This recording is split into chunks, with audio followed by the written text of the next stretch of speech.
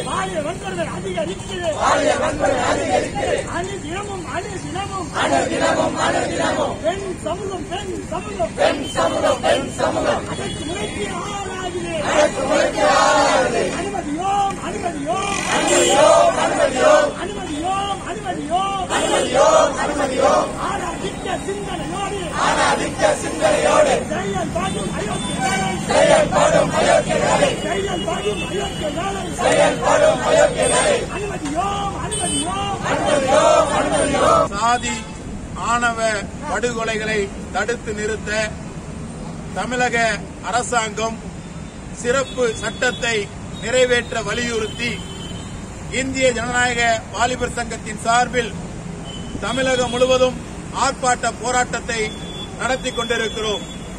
தமிழகத்தில் தொடர்ச்சியாக கடந்த பல ஆண்டுகாலமாக நூற்றுக்கும் மேற்பட்ட சாதி ஆணவ படுகொலைகள் இன்றைக்கு நடந்து கொண்டிருக்கிறது.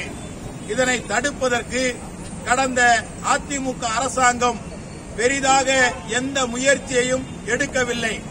புதிதாக பொறுப்பேற்றுள்ள முதலமைச்சர் ஸ்டாலின் தலைமையிலான அரசாங்கம் சாதி ஆணவ படுகொலைகளை தடுத்து நிறுத்துவதற்கு சிறப்பு சட்டம் தனி சட்டம் இயற்ற வேண்டுமென இந்திய ஜனநாயக வாலிபர் சங்கம் வலியுறுத்துகிறது.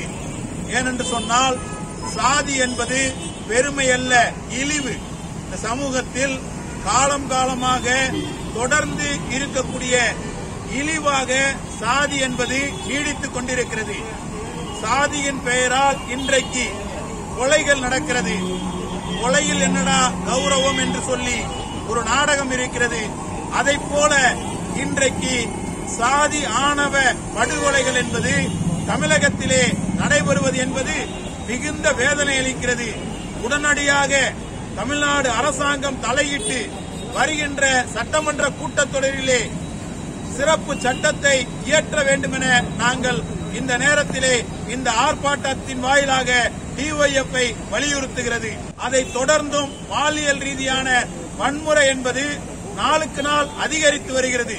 கொரோனா காலத்தில் மட்டும் முதல் அலை காலத்திலே பதினான்காயிரம் வழக்குகள் பதியப்பட்டிருப்பதாக தமிழகத்தினுடைய காவல்துறை டிஜிபி அறிவிக்கிறார்.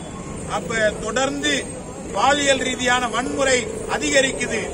அதை தடுப்பதற்கு பள்ளி கல்லூரிகளிலே ஜிஎஸ் கேஸ் கமிட்டி அதாவது பாலுணர்வு நட்புணர்வு குழுக்களை உருவாக்குவது. பணிபுரியக்கூடிய இடங்களிலே விசாகா கமிட்டி அமைத்து இந்த பாலியல் வன்முறையை தடுப்பதற்கு ஒரு தீவிர முயற்சியை அரசாங்கம் எடுக்க வேண்டும். விழிப்புணர்வு பிரச்சாரத்தை கொண்டு வர வேண்டும். பாடத்திட்டத்திலே பொருத்தமான முறையிலே ஆண் பெண் சமத்துவத்தை போதிக்கிற ஒரு திட்டமிட்ட ஏற்பாட்டுக்குள் அரசாங்கம் செல்ல வேண்டும் என இந்திய ஜனநாயக வாலிபர் சங்கம் வலியுறுத்துகிறது. இன்றைக்கு நாம் என்ன பார்க்கிறோம்? போஸ்கோ சட்டத்தின் கீழ் கைது செய்யப்பட்ட திண்டுக்கல்லில் இருக்கக்கூடிய ஒரு தனியார் கல்லூரியுடைய நிர்வாகி நீதிமன்றத்தால் ஜாமீனில் விடப்படுகிறார். போஸ்கோ சட்டத்தில் கைது பண்ணப்பட்டா நூறு நாளைக்கு கண்டிப்பா யாருக்கும் ஜாமீன் கொடுக்க கூடாதுன்னு சட்டம் சொல்லுது. ஆனா என்ன நடக்குது தமிழ்நாட்டில்? நீதிமன்றம் எப்படி இந்த நபருக்கு ஜாமீன் முன்ஜாமீன் என்பது ஜாமீன் என்பது வழங்கியது என்பது மிகப்பெரிய கேள்விக்குறியா இருக்கு. எனவேதான் பெண்கள் மீதான குழந்தைகள் மீதான வன்முறையை தடுப்பதற்கு அரசாங்கம் ஒரு தனிப்பட்ட முறையிலே ஒரு சிறப்பு கவனத்தை செலுத்த வேண்டும் என இந்திய ஜனநாயக வாலிபர் சங்கம் வலியுறுத்தி தமிழகம் முழுவதும் இந்த போராட்டத்தை நடத்தி கொண்டிருக்கிறது.